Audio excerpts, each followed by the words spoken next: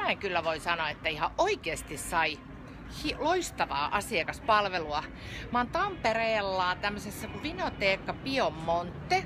Ja, ja tota, me oltiin tulossa tänne syömään pastaa ja koska siinä listalla ei ollut, niin, niin ja kysyttiin, että olisiko mahdollista, kun kovasti tekisi pastaa mieli, niin hetken emmittyään, niin ihan oikeasti sieltä tuli tämmönen pastalautanen, mikä on vielä tosi maukas, eli aivan mahtavaa. Tällä tavalla voidaan asiakkaita palvella ja tänään me oltiin siis täällä Tampereella ja Vinoteekka Piemontessa.